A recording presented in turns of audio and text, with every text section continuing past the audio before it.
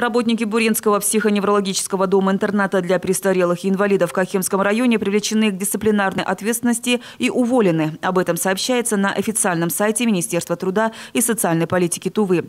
В соответствии с приказом министра ведомства специальной комиссией проведена внеплановая проверка деятельности социального учреждения.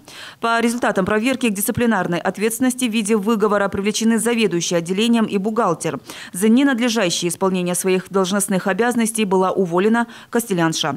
В отношении директора учреждения решается вопрос об увольнении, который приостановлен в связи с ее уходом на больничный отпуск. Отмечается, что материалы проверки направлены в правоохранительные органы для принятия мер и возбуждения уголовного дела в отношении лиц, фигурирующих в видеоматериале.